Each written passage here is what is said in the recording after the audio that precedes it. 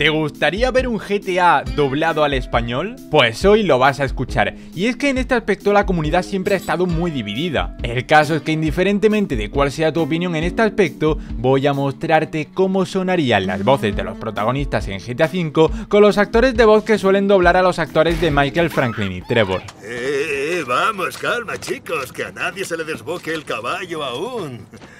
Aquí todos somos amigos. Y este montaje es solo un ejemplo, pero si te gustaría ver más como este y saber más sobre el tema, ayer subí vídeo al canal principal con varios doblajes más como este. Este no es el hombre adecuado para resolver este conflicto.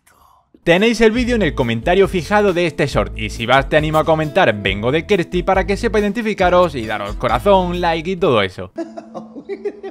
Disfruten del vídeo.